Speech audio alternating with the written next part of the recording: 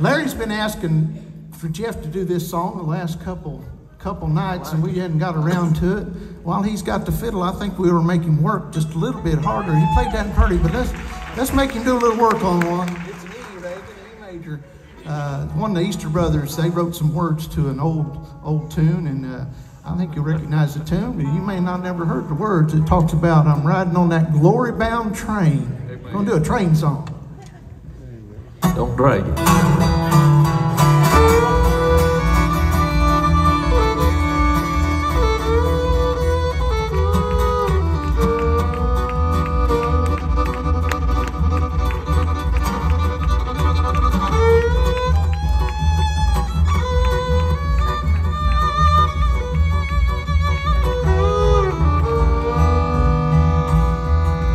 I'm waiting on that glory bound train.